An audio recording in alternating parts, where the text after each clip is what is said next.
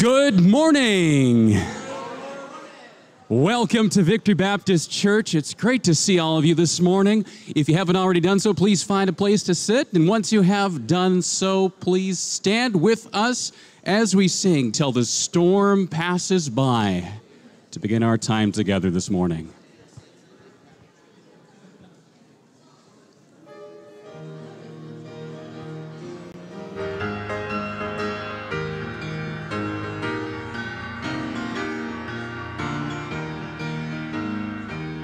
In the dark of the midnight have I oft hid my face while the storm howls above me and there's no hiding place amid the crash of the thunder. Precious Lord, hear my cry, keep me safe till the storm passes by till the storm passes over, till the thunder sounds no more, till the clouds roll forever from the sky.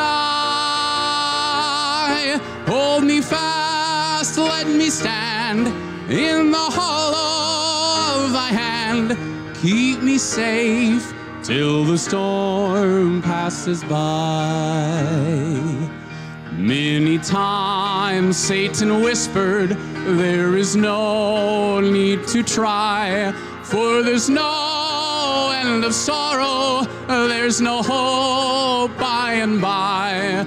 But I know thou art with me, and tomorrow I'll rise where the storms never darken the skies till the storm passes over, till the thunder sounds no more, till the clouds roll forever from the sky. Hold me fast, let me stand in the hollow of thy hand. Keep me safe till the storm passes by. When the long night has ended and the storms come no more, let me stand in thy presence on that bright, peaceful shore, in that land where the tempest never comes. Lord, may I dwell with thee when the storm passes by till the storm passes over, till the thunder sounds no more, till the clouds roll forever from the sky. Hold me fast, let me stand in the hollow of thy hand. Keep me safe till the storm passes by. Beautiful singing this morning. Brother Shane, would you come and open our service with prayer, please?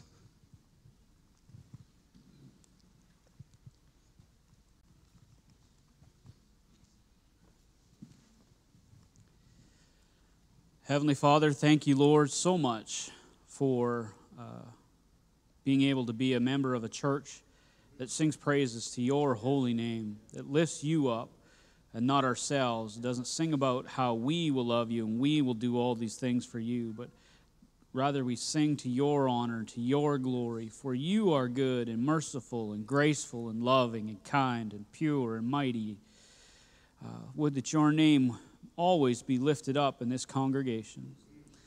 Uh, that we would not lift ourselves and puff ourselves up in vanity, but rather we would always lift high the name of Jesus. Uh, Lord, I pray that you make of our pastor a preacher this morning, that he might preach your holy word into my life, the lives of my children, the lives of my friends, the lives of those who've come here today to hear from your holy word that we are sinners in need of a Savior. Lord, we love you and praise you and thank you so much for your goodness to us, oh God. In Jesus' name, amen. Amen. Thank you. Gentlemen, I was glad when they said unto me, let us go into the house of the Lord. I hope that you're glad to be here today. I hope that you're looking forward to uh, hearing from God's word and singing to your God and worshiping your God and praising your God and serving and loving your God so that we can go out these doors and we can serve Him for the rest of the week. All right, just got a few announcements. Please note first, this is really important. Uh, from now on, the announcements will be rotating online so that I don't have to make announcements. Two weeks ago, I made 14 announcements on a Sunday morning. I mean, that's almost a second sermon, amen? And so we don't need that. And so please note that before church, between services, the announcements will be on the wall and you can see uh, most of them each week. Today, but we will be having. Uh, We'll be having child rearing family class at 1 p.m. Uh, between this service and the second service. There'll be a pizza lunch for those who stay. All are welcome, but don't you come just for pizza, amen? you come for preaching too. So we're going to have some preaching on family and child rearing in the home and things like that. Uh, these services won't be online, but they will be right here at starting at uh, 1 p.m. this afternoon. There'll be no ladies' Bible study until mid-September. I'd like to take this time. Uh, I've really trimmed my announcements down a lot. I'd like to take this time this morning and welcome any visitors we have in this first section. It's good to see uh, Miss Brother and Mrs. Cleveland are back with us. Thank you for being here. Now this is two in a row, so after that, three times, I don't recognize you anymore. So you come three in a row, we won't be recognizing you as visitors anymore. Then you become part of the furniture. Amen. All right. Um, we have these folks in the back. Could you, sir, could you introduce your, uh, your family to us all one more time?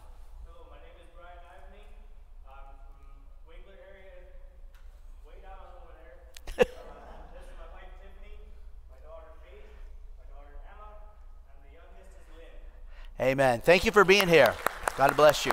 Now, Brian, right? All right, how many remember Chris? Is it Ively?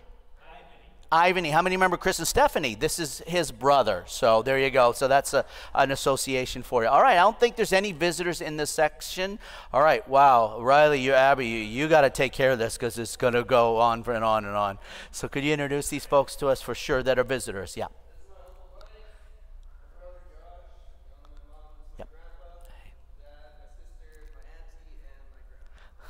Hello. that was a lot easier. Uh, you got one more, I think, slipped in the back door right there. One more. All right. Last but definitely not least, the last should be first and the first should be last. So you're very welcome. Thank you for being with us this morning, all of you. God bless you all for being here with us this morning. All right, in this uh, section, do we have any visitors? I don't see any, but I, don't want to miss any. It's good to see Aaron. Haven't seen you in a while, buddy. Good to see you, brother. Amen. Um, I think everyone in this section pretty much is regular here. Okay, let's go to this next section. Yes, Joy, can you please introduce your friend? Amen. Raylene, God bless you. Thank you for being here, Raylene. It's great to have you this morning. Amen. That is so wonderful. Okay, and I don't think that, yeah, I think there's one. Yeah, there's another family right there. Who's the oldest? I know mom's working today. I know, mom, who's the oldest? Can you please tell me your name and everybody else's name, okay?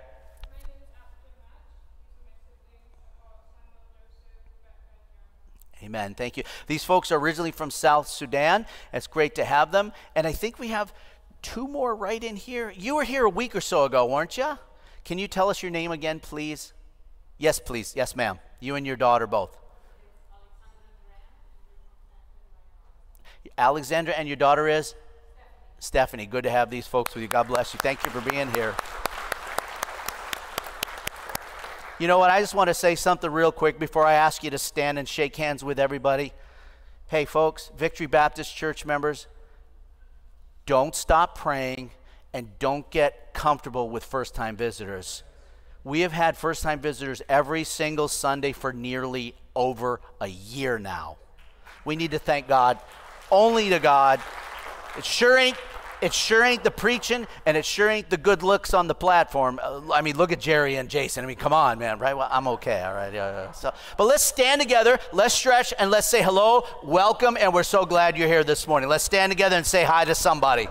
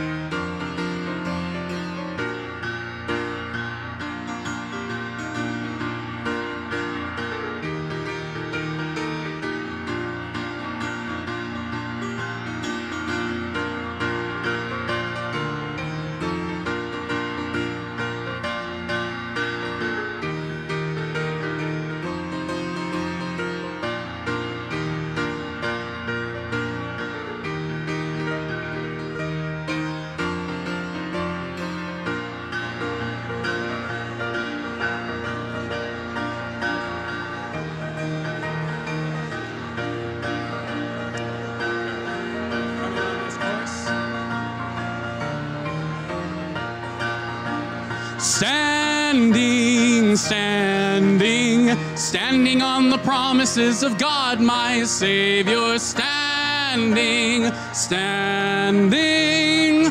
I'm standing on the promises of God. Standing on the promises of Christ my King. Through eternal ages let his praises ring.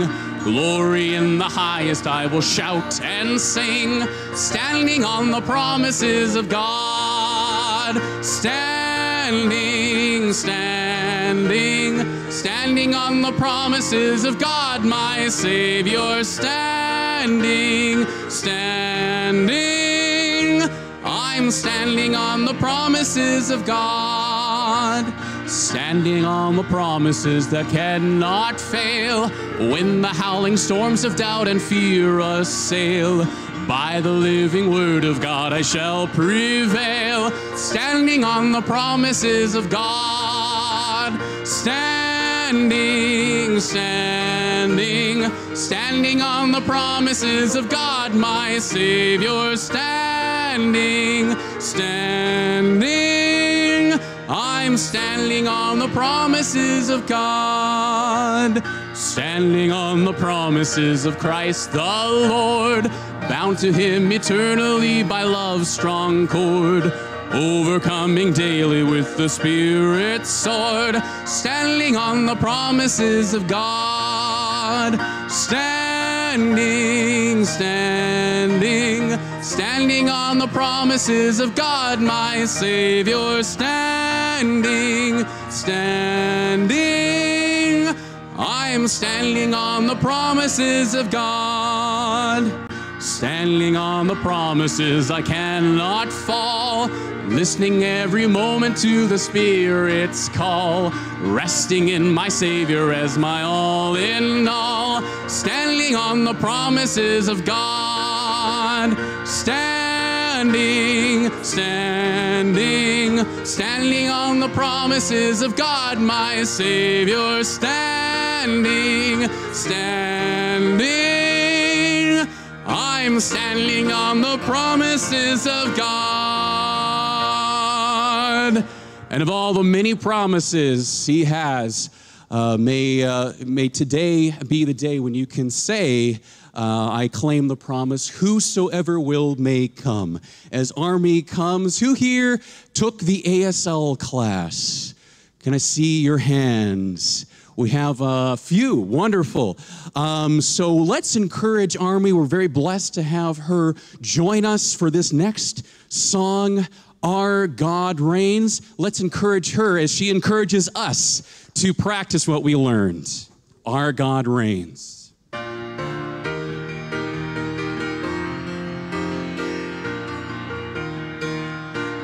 How lovely on the mountains are the feet of him who brings good news, good news, announcing peace, proclaiming news of happiness. Our God reigns, our God reigns,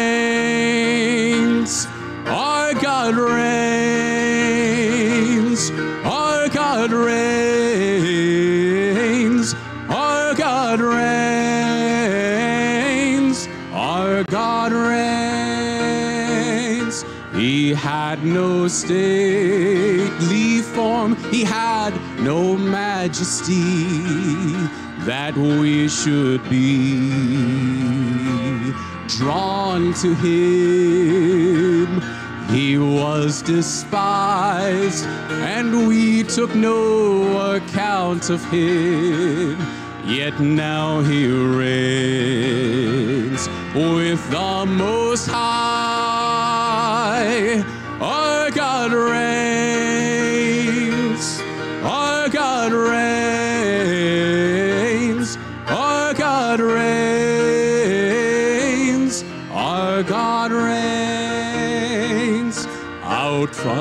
Tomb he came with grace and majesty.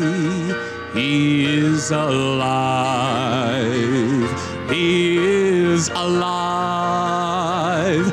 God loves us so. See here his hands, his feet, his side.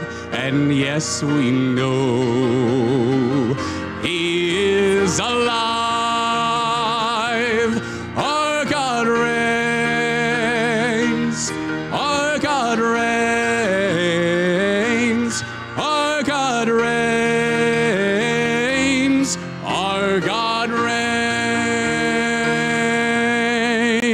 Amen. Thank you, Army. Praise the Lord. Please remain standing. We're going to new, uh, learn a new song, um, and I'm just going to sing the first verse and the chorus through once, and we're going to start from the beginning uh, once you get to know the tune and uh, some of the words. So, Across the Land, a new song for you this morning.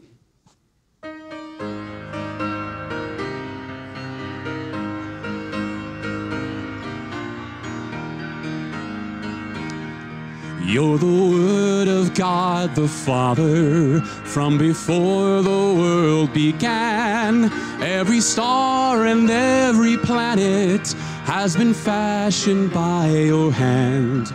All creation holds together by the power of your voice. Let the skies declare your glory. Let the land and seas rejoice. You're the author of creation. You're the Lord of every man. And your cry of love rings out across the lands. Got it? Let's from, from the verse one. You're the Word of God the Father from before the world began. Every star and every planet has been fashioned by your hand.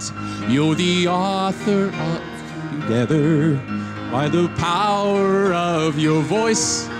Let the skies declare your glory. Let the land seas rejoice. You're the author of creation. You're the Lord of every man. And your cry of love rings out across the lands. Yet you left the gaze of angels, came to seek and save the lost, and exchanged the joy of heaven for the anguish of the cross. With a prayer you fed the hungry, with a word you calmed the sea. Yet how silently you suffered that the guilty may go free. You're the author of creation, you're the Lord of every man. And your cry of love rings out across the lands. With a shout you rose victorious, wresting victory from the grave, and ascended into heaven, leading captives in your way. Now you stand before the Father, interceding for your own. From each tribe and tongue and nation, you are leading sinners home. You are author of creation. You're the Lord of every man. And your cry of love rings out across the lands. Great singing for a first time. You did great. Blessed assurance, Jesus is mine. As we close this morning.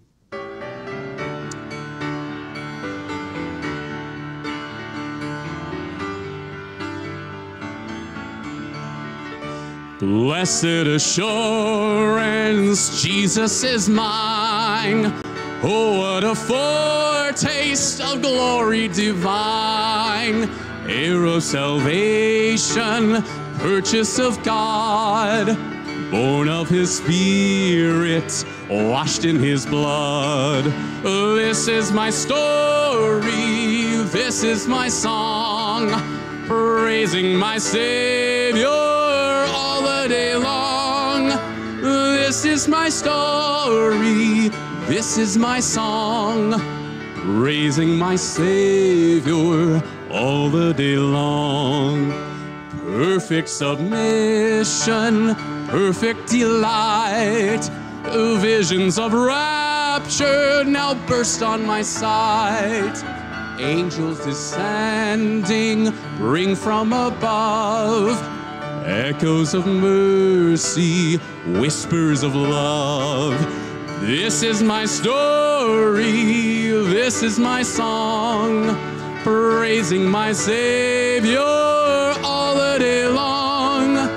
This is my story, this is my song, praising my Savior all the day long. Perfect submission, all is at rest. I in my Savior am happy and blessed. Watching and waiting, looking above, filled with His goodness, lost in His love. This is my story, this is my song, praising my Savior all the day long. This is my story, this is my song, praising my Savior all the day long. Amen. Thank you for that beautiful singing. Please remain standing as we open up God's Word. Amen. Please turn with me in your Bibles to John chapter 1 as we'll read verses 1 through 5 responsively. If you would, John chapters 1 through 5. John chapter 1 verse uh, John chapter 1 verses 1 through 5. We won't be remaining in John. Uh, we preached uh, a series through the book of Titus, verse by verse, chapter by chapter, but that's not what we're doing today. So I hope that you will uh, join me as we read responsively. John chapter 1, verses 1 through 5, and I'll read the first and you read the second, and so on. The Bible says this in the Gospel of St. John, verse number 1, the Bible says, In the beginning, now, that beginning is the beginning of time and creation. In the beginning was the Word. So, the Word is in the beginning of time and creation, and the Word was with God. Now, notice this phrase carefully and the Word was God. Verse 2. All things were made by Him. The Him is that Word and without him was not anything made that was made.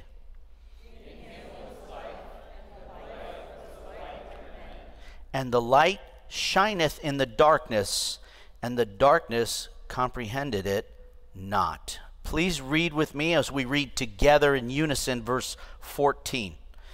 And the Word was made flesh and dwelt among us, and we beheld his glory, the glory as the only begotten of the Father. One more time in verse 14 together. Ready, begin. And the Word was made flesh and dwelt among us, and we beheld his glory, the glory as the only begotten of the Father, full of grace and truth. What I'd like you to note with me, please, in verse 14 is that phrase that says, and the Word, capital W and the word was made flesh. That means that that word that was at the beginning of time, that was the beginning of creation, was there with God, and that word, capital W, not only was with God, but is God. And in time, 4,000 years after the Garden of Eden, that same word came down and was laid in a manger. Let's have a word of prayer. Heavenly Father, we ask now in the name of Jesus that you would speak to each and every one of us. God, Holy Spirit, I cannot do the work. Only you can do the work. Only you can change a life. Only you can change a soul. I pray that everything we've sung, I pray that everything that we say, everything that will be done will be honoring and pleasing to you. Please, Lord, be the king in this room. Be the honored guest. Be the focus point, Lord. We love you and we need you. Help me to help your people today. In Jesus' name we pray. Amen. God bless you. You may be seated this morning. Going to talk to you for just a few minutes this morning. I just want to talk about Jesus, uplift Jesus, honor Jesus for a while. There's times to come to church and I have to deal with problems. There's time to come to church and I have to teach people the truth. There's times that people come to church and we have to uh, preach doctrine. And by the way, doctrine still matters. Amen. What you believe does matter. It's not enough to rally around John 3:16. Doctrine does matter.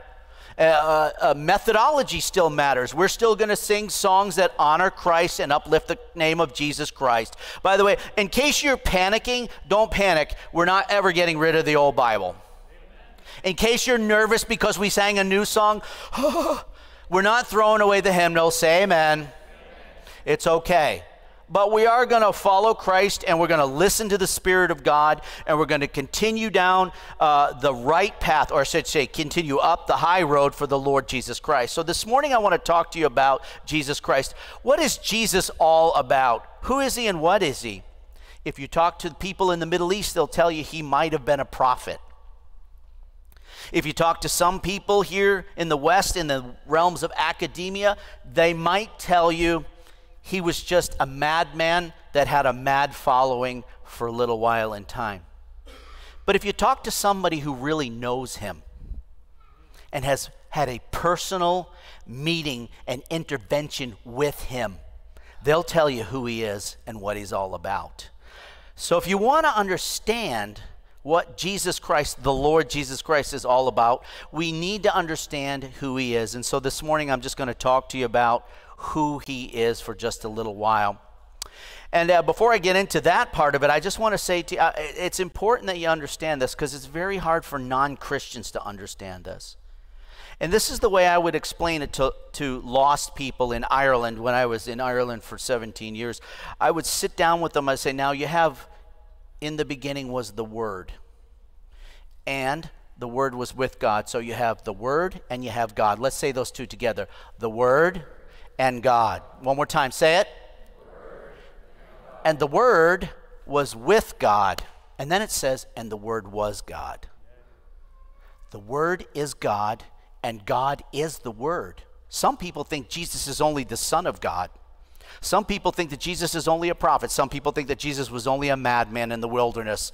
But if you know him, you understand that he is God Almighty. Can you say amen right there? So, and the Word was God. And then the Bible says the Word became flesh in verse 14 and dwelt among us. God came down and became one of us. When you say, No one understands what I'm going through, no one understands the burden that I bear. No one has suffered the pain that I've gone through. No one understands. There is one that absolutely does understand. His name is Jesus. And what is Jesus all about? That's what I just want to talk to you for about for just a little bit this morning. First, I'd like you to notice that Jesus Christ, he is the God of creation. He is the God of creation. Jesus made it all, and all was made by him. He created everything to bring glory and honor and pleasure unto his name. He owns the cattle on a thousand hills, the wealth of every mind. Jesus is the great creator, truly all is thine. Jesus is the creator. There's nothing that's been made that was not made except by the word of the Lord Jesus Christ. He is the great creator. Now, that was something I didn't know when I first became a Christian. I always thought that God the Father made everything and God the Son died for me and the God the Holy Spirit lives within. That's not true. Jesus made everything. Does that get you excited? He made everything. Every hair on your head is numbered. Every hair that has ever fallen out of your head is numbered. Every cell in your body is uh, known by Jesus Christ. Every proton, neutron, electron in the human body, Jesus knows about it. There's no overload of information with Jesus. Jesus is the creator of every grain of sand upon the seashore. He is the creator of every drop of water in all the ocean. And all the stars were named by him because Jesus Christ is the creator of all things. You, my friend, are his greatest creation. You are the pinnacle of God's creation. Though you look up at the stars at night and how beautiful they may shine, you have to realize that you and I are more valuable than all the stars put together. You see, he died not for the sand, nor the drops of water in the sea, nor for the beautiful stars above, but he came to earth and he died for you and he died for me. Jesus Christ is the great creator of the universe. If I were God, I wouldn't have made it. I would not have created it. If I were God, after watching a little while, I would have blown it up and got rid of it. But hallelujah, thanks be to God, you and I are not God. We are just His creation. So, why did God, the Creator, why did Jesus Christ, the great Creator, why did He make us? Let's look at the wall, Revelation 4:11. I think this sums it all up really, really, really good. If you think about the power of these words, Thou art worthy, O Lord, to receive glory and honor and power. For, read the blue words out loud with me. Ready? For, Thou hast created all things, and for thy pleasure they are and were created. Why were the Rockies created? For his pleasure. Why was the Atlantic, Pacific, Indian Ocean created? For his pleasure. Why were there elephants and and why were there uh, giraffes? They were created for his pleasure. Why are there boys and girls and children across this country and all over the world? We were created, all things were created for him and for his pleasure. They are and were created. We need to get back to initial intent and purpose of why you and I are here. We, my friend, are here for his pleasure. That changes the whole purpose. There are some megalomaniacs and egomaniacs on the planet that really think that they were born to rule the world. Some of them have sat in Ottawa, some of them sat in Washington, D.C., in Beijing, and London. They think that they were born to rule the planet. No, they weren't. They were born for His good pleasure. Isn't that amazing? Changes your whole perspective. If you realize the only reason you're really here is not to get to level 12 on PlayStation game Save the Space Commandos, right? Say amen. You are not here to break the bank at the all you can eat pizza buffet at Pizza Hut. Say amen. You are here to not stackpile cash. You are here for His pleasure. That's why He made you. He made you to make Himself smile. Think about it. He made you to make himself smile so he can look down at you and say, You're here for my pleasure. You're here to make me happy. Jesus is the great creator of all things. Number two, I want you to see about the Lord Jesus Christ. He is the God of salvation. Not only is He the God of creation, He is the God of salvation. And salvation is the most important thing. Now, we've had several visitors this morning in this section, this section, this section, not this one, but that one section also. And salvation is what you need. He created you for Himself, but what you need is you need His salvation. He is the God of salvation. Now, what is salvation?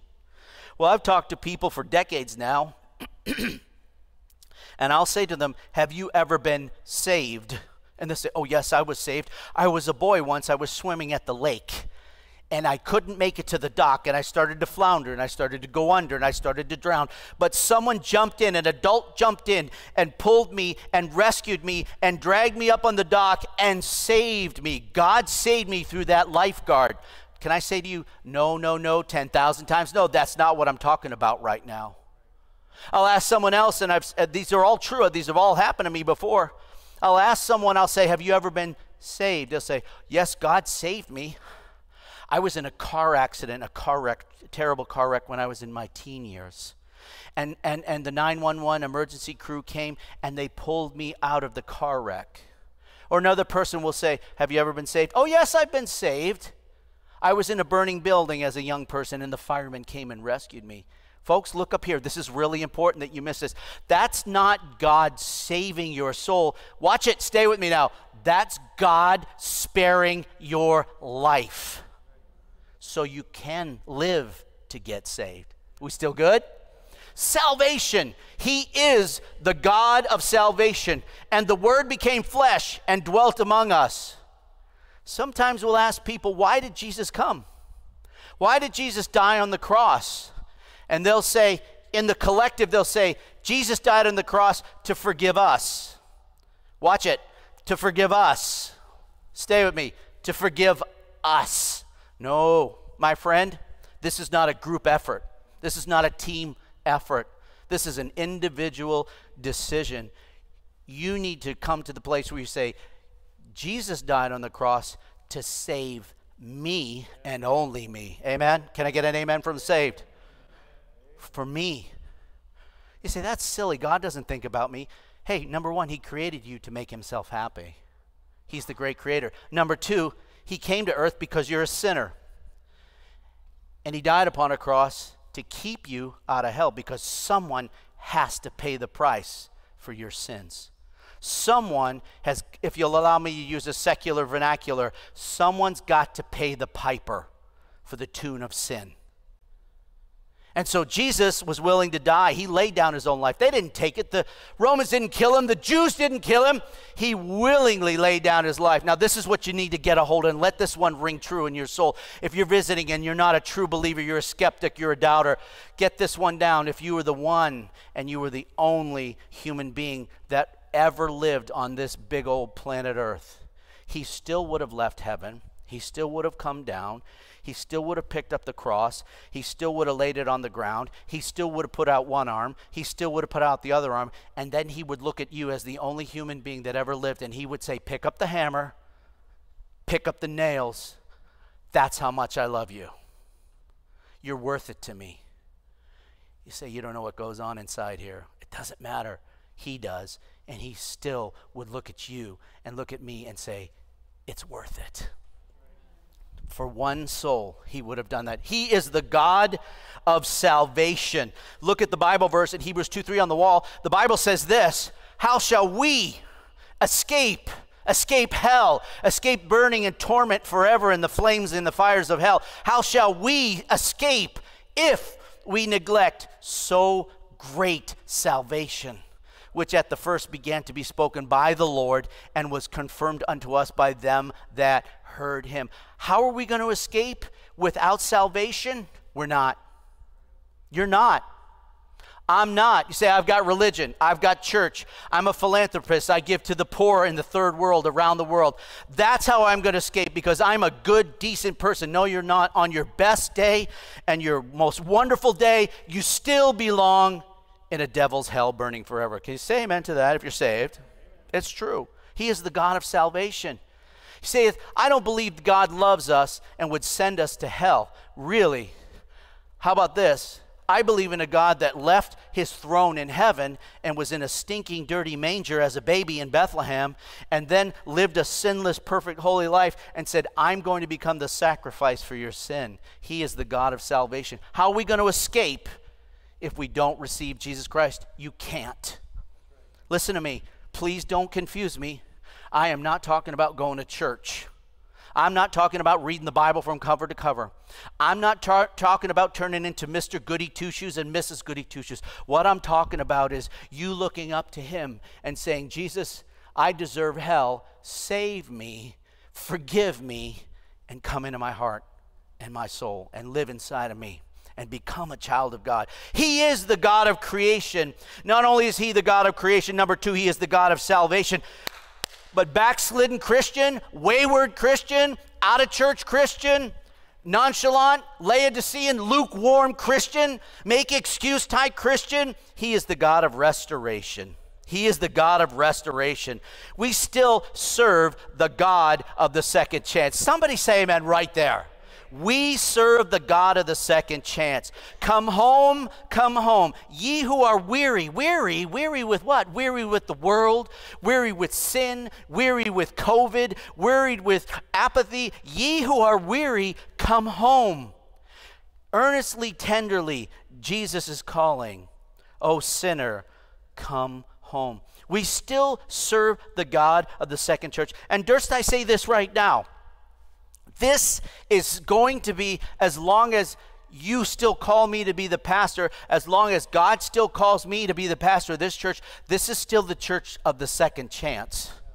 You can come back. Don't get quiet on me. Help me, Shane, here, because you're about the only guy that said amen right there. You can, Daryl, you can come back. You say, I can't. You can't. The only person that tells you you can't come back is the devil. Say amen right there. Now, if you're not a Christian, I'm not talking to you right now. You just kind of put your fingers in your ear and say, I'm not listening right now. But if you're a saved person, you're a church member, you're a child of God, and you've gone into the deep sin and you've gone on to the deep off the deep end, and you're as far away from God as a Christian can be, but you're still a Christian. Hey, listen, you can still come back. Help me, brother. The only one that tells you you can't come back is who? And who else? Satan. And Satan whispers in your ear and says, You can't come back. Yes, you can. Come home. God is the God of restoration. He still has a program and a plan for your life and my life. Let me give you some Bible for that. Psalms 51 12. Look at the wall, if you would, please. God of restoration. Restoration. Restore unto me the joy. Restore unto me the joy of thy salvation and uphold me with thy free spirit. Restore unto me the joy of thy salvation. Why is it that some people come to church for decades and still get fired up and cannot wait to hear the Bible preached and cannot wait to sing to the Lord? And other folks come in and they sit and they soak and they sour.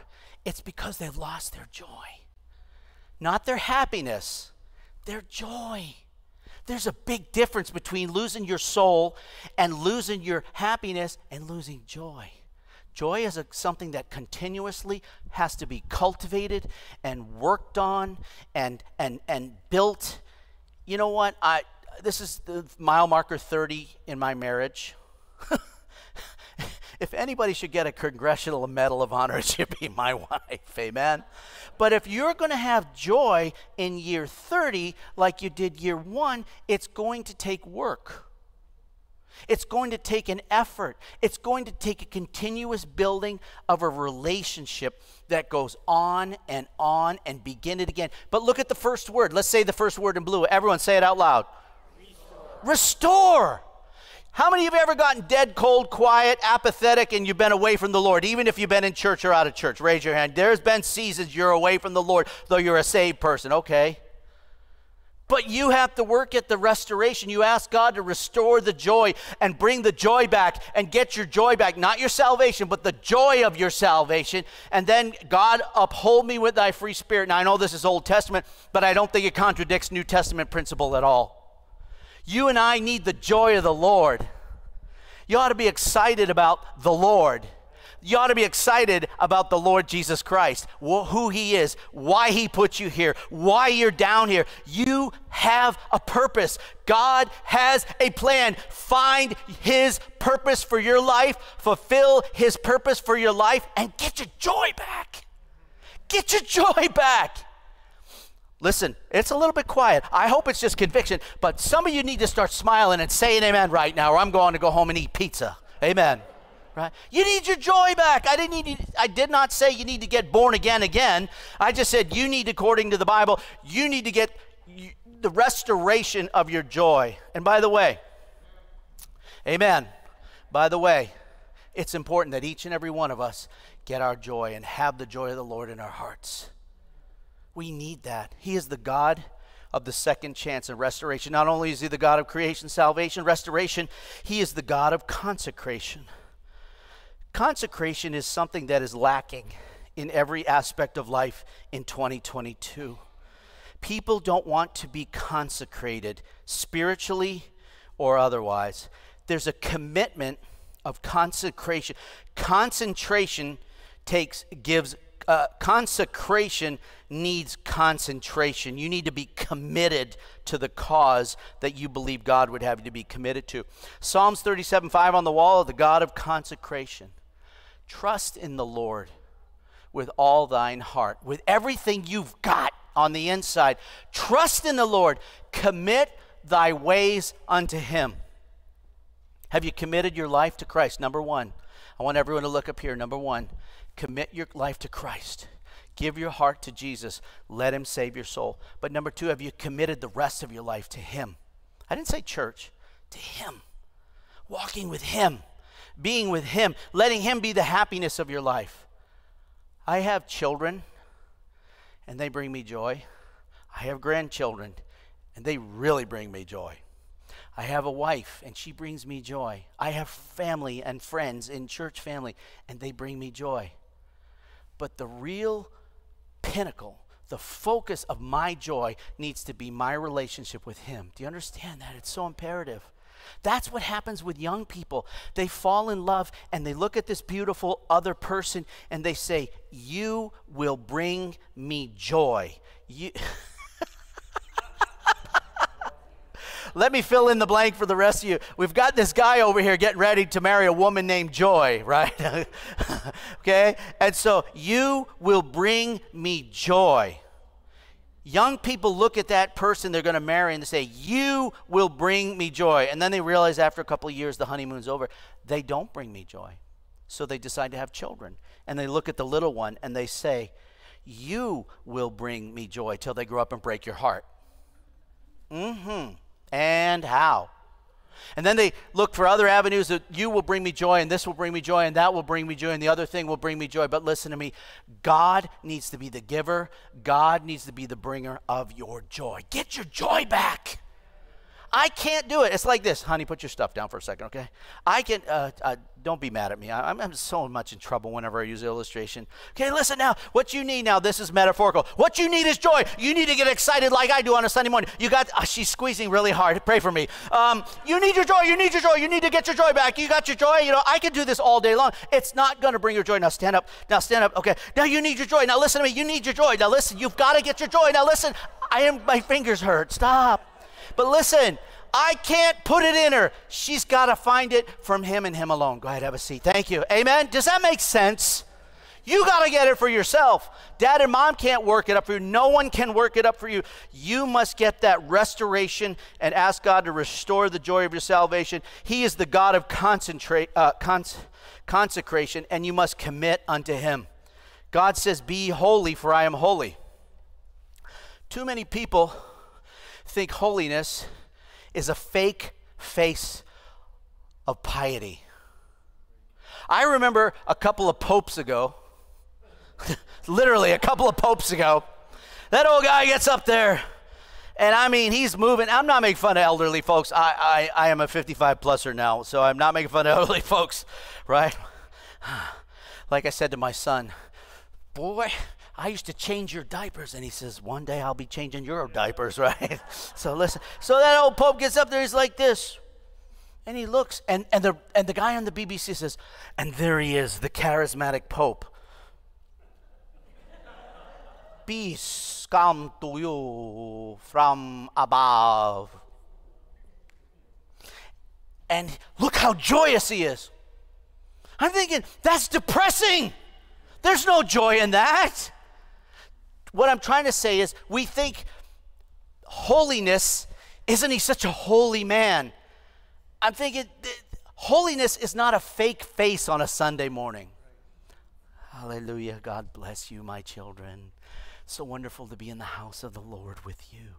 Isn't the Lord good? Unless you're from Texas, then fake holiness is somebody loves you. God bless you. You just put those bucks in the plate. We'll be all right, y'all. I've got holiness on my side and a great perm, right? Listen to me. Sorry, that wasn't very Christ like. I know. But neither is false teaching. Rebuke them, expose them for the frauds that they are. Say amen. TV preachers are crooks. They smoke you for their money. Listen, holiness is not an act or a costume or a facial expression you put on. Holiness is God inside of you and realizing, you know what? I really want to do that. And I know it's anti biblical, and I know God's not in it.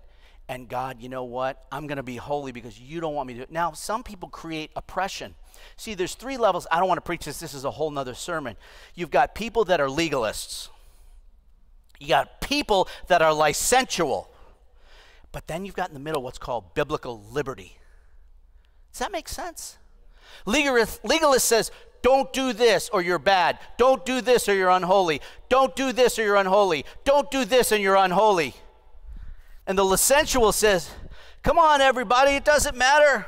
We're going to smoke pot for Jesus after the church and get filled with the Spirit.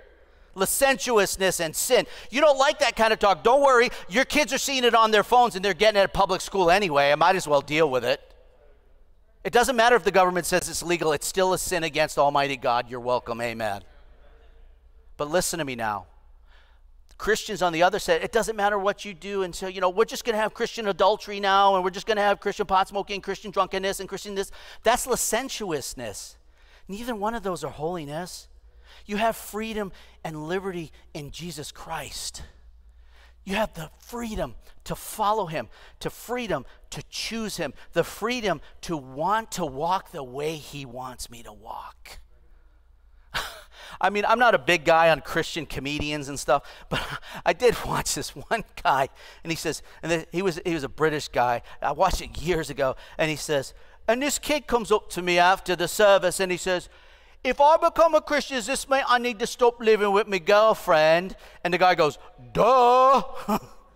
duh. Hey, listen, God still wants us to be holy. Do you understand? Not miserable, holy. Not sour, holy. Say amen right there. That's all right, I'll preach it anyway. Okay, be holy, for I am holy, because my heavenly Father and the Lord Jesus Christ is the God of holiness.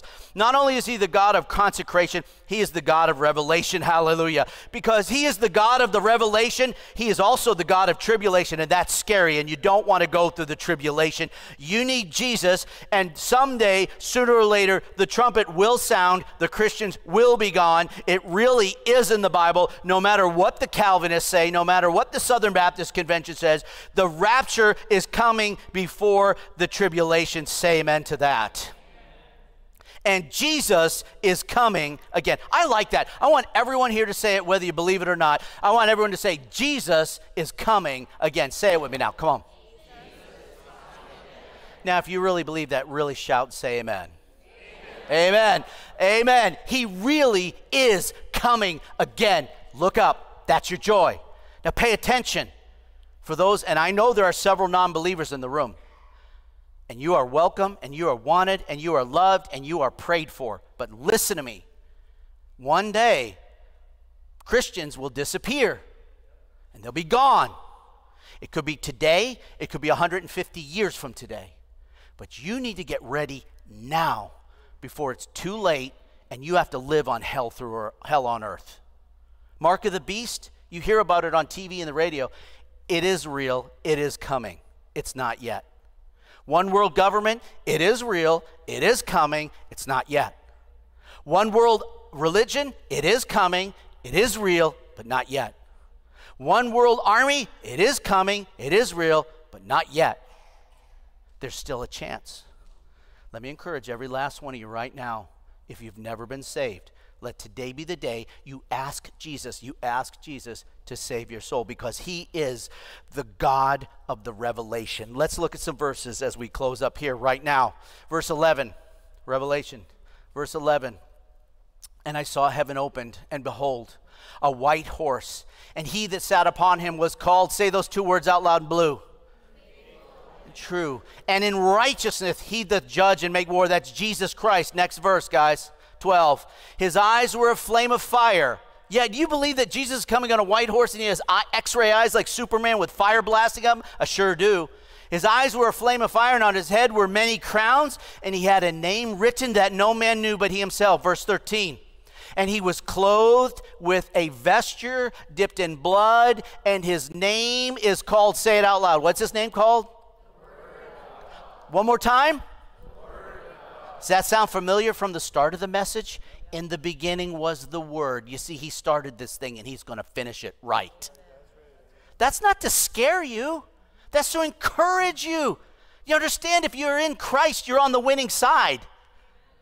But you might you've already won. Why don't you live like you've won and get your joy and restore your fellowship and get your consecration because he has a vesture dipped in blood. That's like his robes have blood on them. And his name is called the Word of God. That's Jesus Christ, the Word of God. That's another name for Jesus Christ. Some of you call me Pastor. Some of you call me uh, Dad. Some of you call me Mr. Handsome with muscles, right? Okay, just checking. Okay. Some of us call him King of Kings. Some of us call him Jesus Christ. Some of them call the Word of God. Verse 14.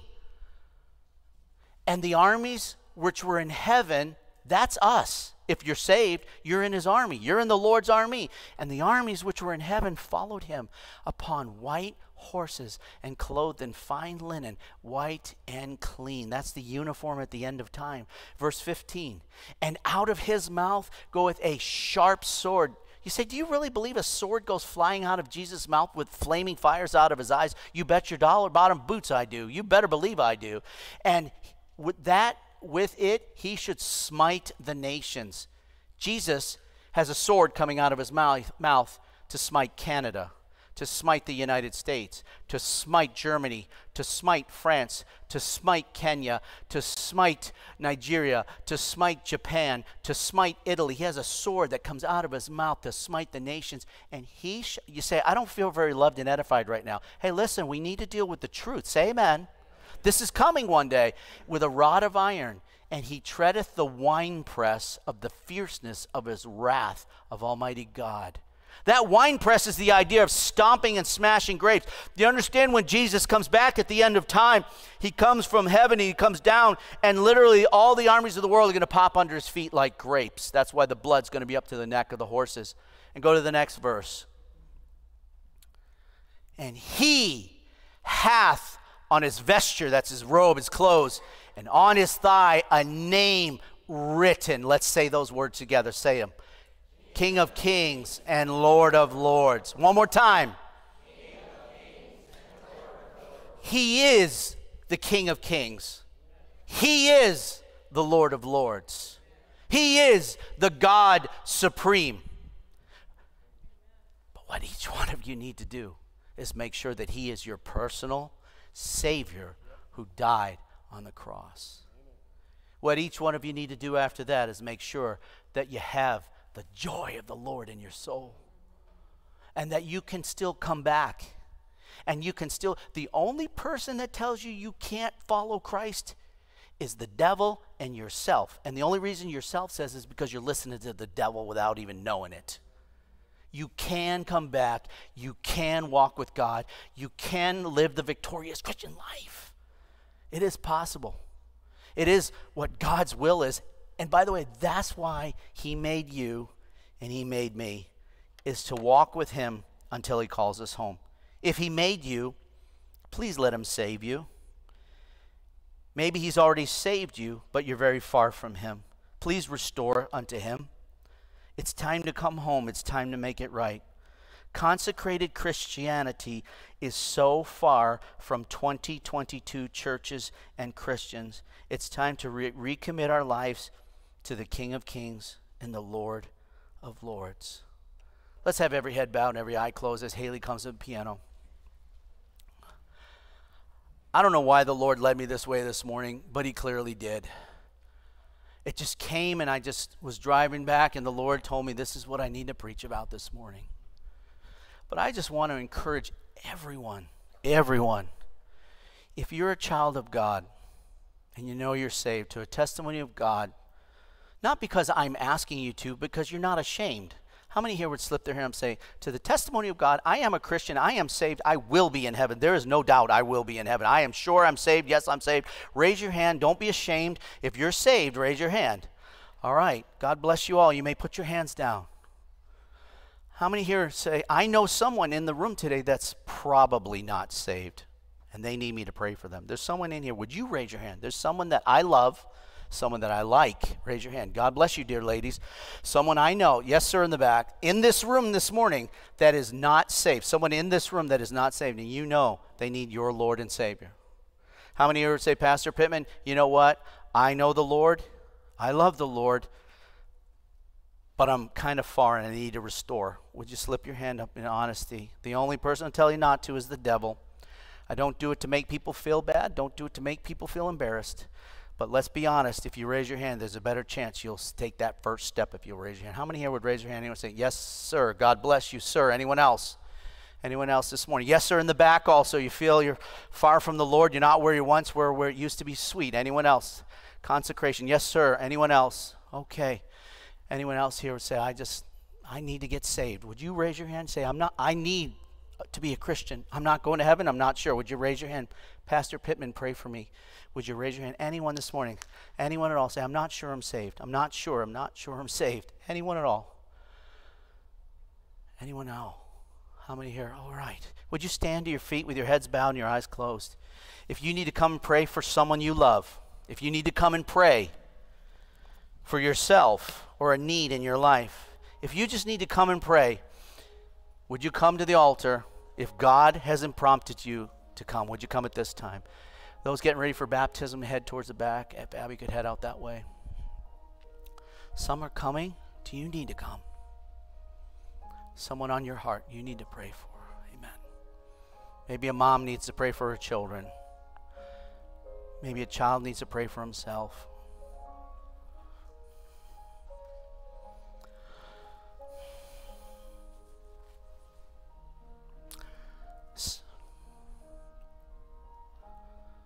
Some have come. Do you need to come? Would you come this morning? If the Holy Spirit prompts you, would you come, please? I'm going to do baptism, okay? So if you could just,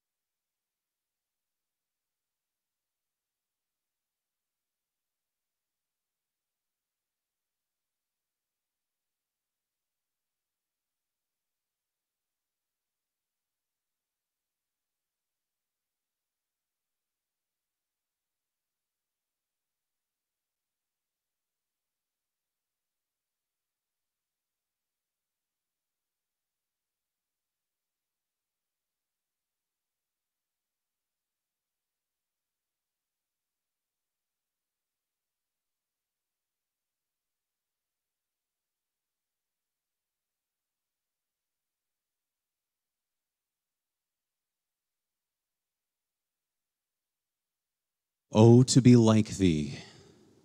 This is my constant longing and prayer. Let's sing it together this, this uh, morning.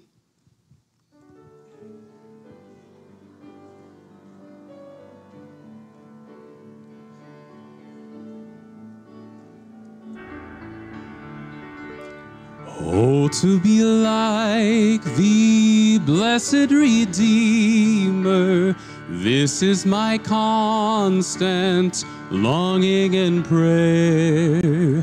Gladly I'll forfeit all of earth's treasures, Jesus, thy perfect likeness to wear. Oh, to be like thee, oh, to be like thee, blessed Redeemer pure as thou art. Come in thy sweetness, come in thy fullness. Tempt thine own image deep on my heart.